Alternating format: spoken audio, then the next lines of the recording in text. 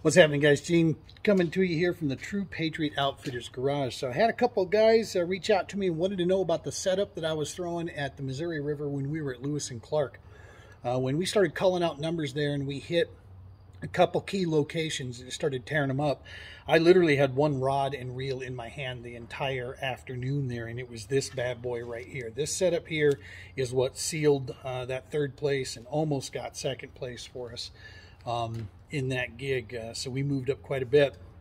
Um, as you guys know, we started testing out 13 fishing at the beginning of this year, and I got to tell you, the rods that we have been testing with 13 fishing have blown me away. Um, I didn't really know what to think. Uh, it's a big name brand. Uh, it's out there quite a bit, um, but I got to tell you, uh, from their customer support, the price points, the performance and quality of these rods, I'm sold, man. I'm in, and we're looking to uh, probably next year we'll be going even deeper with these guys and uh, and loading out.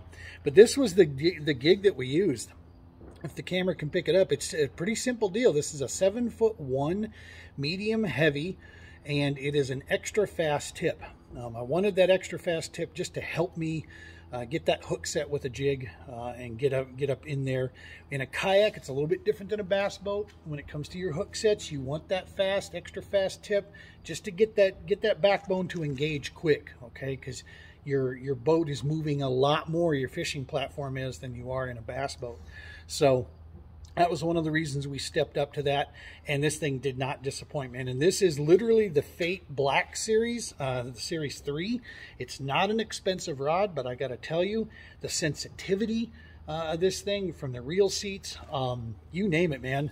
The reel that we're throwing is just a Lew's uh, mg uh, Lazer mg it's an old one. I've had this thing for a couple seasons.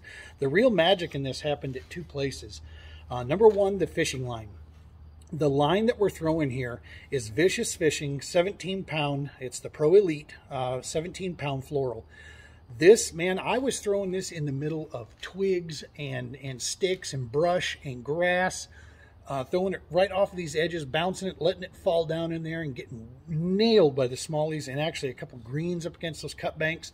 And this line never, never gave in. Um, it was just stuck. I could pull them right out of the mess uh, with this 17 pound fluoro. I had total confidence in it. I boat flipped everything, even that 19 inch smallie. We boat flipped him straight up and in. Um, just knowing that this line was going to hold up for us and that our, our, knots and everything was good. That was the first piece of where the magic took place. The second piece here um, is in the jig. Excuse me. See if I can get the camera to pick this up. She is beat up, dog you can see the, the paint actually started to chip away on this thing.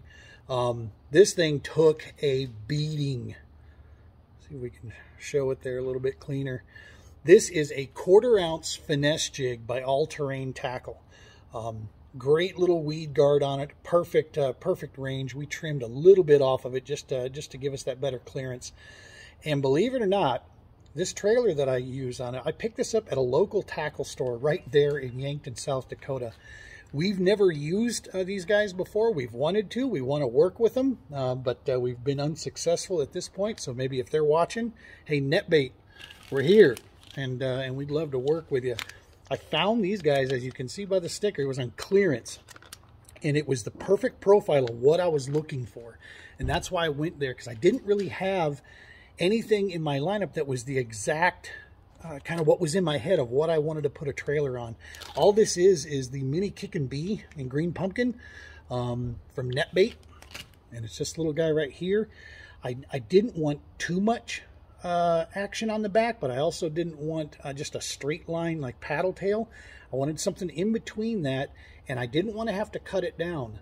This was the, the perfect size trailer, man, that, that matched with this all-terrain tackle jig and it offered me a clean line when I could drop it in there, even right in the middle of uh, that brush and sticks and so forth. We could throw this in here, jiggle it a little bit here and there, and it would knock itself down through, get back in there where they were hiding, uh, and it uh, it did the job. So, telling you, man, all-terrain tackle bass jigs, you can't beat the quality, you can't beat the performance. That hook, man, is still razor sharp after all those fish that we hit on that. Um, and uh, and all the terrain that we ran them through there. It was uh, it was not light work, I'll tell you that. But this little setup right here, man, the Fate Black uh, by 13 Fishing, 7-1 medium heavy, extra fast, uh, for pitching and flipping, uh, throwing that jig in there, and that 17 pound vicious fishing line, Pro Elite. That's the stuff we went with. Is the is the Pro, um, 17 pound fluoro. This stuff is the deal, man. It's got it gives you that confidence that I normally don't get unless I'm throwing braid, but this stuff here it took care of it, of course. And then the uh, all terrain finesse jig and uh, quarter ounce she got her done. So we're hoping to throw those jigs at uh, at Bull Shoals where we're going. Uh, we'll have to see what uh, what size and what kind we're going to be throwing in in our conditions there. But I'm hoping that jig bite is on there because that's that is definitely a, type of fishing we do enjoy. So stick with us, guys. We got some more tips and tricks coming up here, and we should be heading to Bull Shoals, so the content should start to get flowing. Tight lines, y'all. Be safe.